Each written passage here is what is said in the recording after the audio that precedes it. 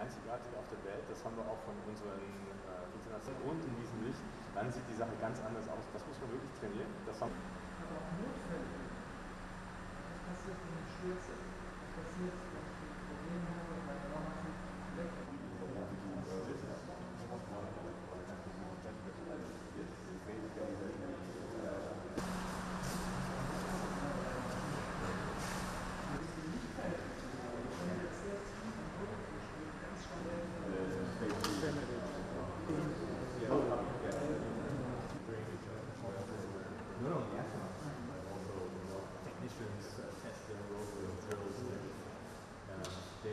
So this facility is worldwide the best facility to prepare missions to the moon. We have everything that we need to test and prepare ourselves for the moon. Uh, it's a facility that not even NASA has or any other international partners. So we believe that in the future many people will come to Cologne before flying to the moon. Uh, I hope also all the NASA astronauts will train here before their mission to the moon.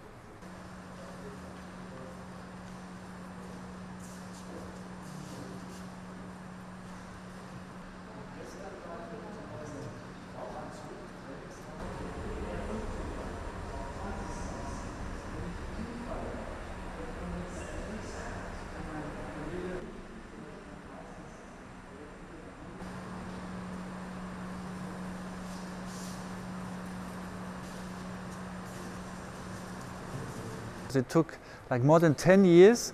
When I first came up with the idea, I initiated it and said like we need to prepare for the moon because currently we're only flying to low Earth orbit to the International Space Station, but the next missions will bring us to the moon. And so you need to find support, you need to find the budget, and you need to find the right place to build this facility. And interestingly, during Corona times, we already had the budget, but then it was taken away again because it was needed for other um, other duties. And then when we started or were ready to build, we figured out there are protected lizards in this area. And these lizards, um, you cannot just build where these are. And so in the end, we lost another two years. And uh, we lost also the fight against the lizards. Um, the Luna is now standing opposite of the place where the lizards live.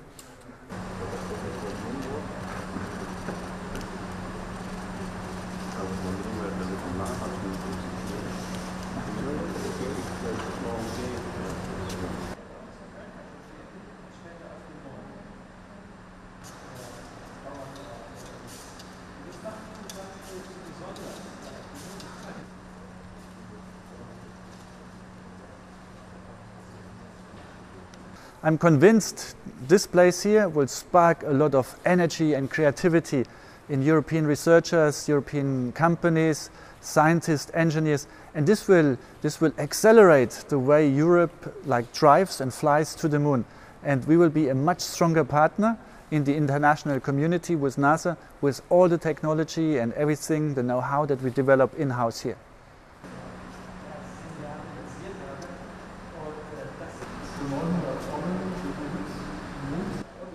uh, where they where they switch off the, the, the ceiling lights. Can you can you demonstrate? and They can see if it works.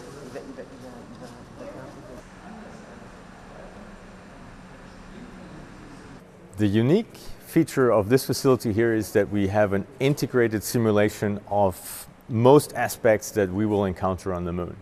It's the surface, it's the, the lunar dust, the rocks, the lighting. We will have a gravity offload system. We will work in spacesuits that limit our movement, limit our view. Uh, it's all coming together, and that is special. It doesn't exist anywhere in the world, but it is uh, crucially important for before we go to the moon that we train in a situation that is as close as possible to the real thing.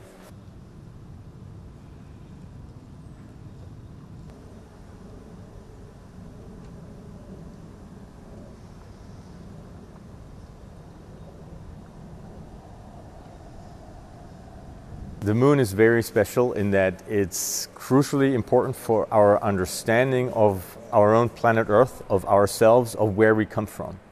The moon is basically a twin of planet Earth. We don't know quite how it got into existence, possibly, probably by a big cosmic collision. And it contains a lot of rocks that are billions of years old that are similar to the ones on Earth, which we don't find on Earth anymore. We cannot study them here. If we go to the moon, we can study, we can read in like a history book.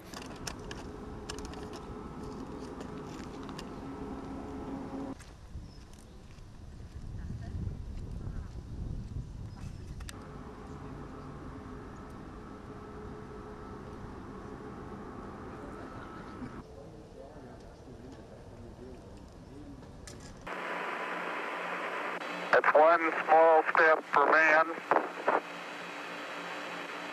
one giant leap for mankind.